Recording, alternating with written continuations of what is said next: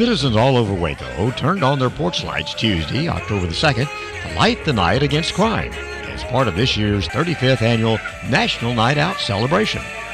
National Night Out is held across the nation to encourage neighbors to unite in the fight against crime by getting to know the people who live in their neighborhoods. This year, a total of 15 block parties were registered throughout the greater Waco area. Neighborhoods hosted their family event featuring cookouts, music, games, and anti-crime displays and activities for the whole family to enjoy. To help celebrate the party and spread the message of safe neighborhoods, a host of public servants, including police officers, firefighters, city representatives, and healthcare workers, visited many neighborhood locations to interact with the neighbors. The city extends a big thank you to all Waco neighborhoods and public servants who participated in the National Night Out this year. Making a visible stand against crime in Waco brings our communities closer and makes them safer.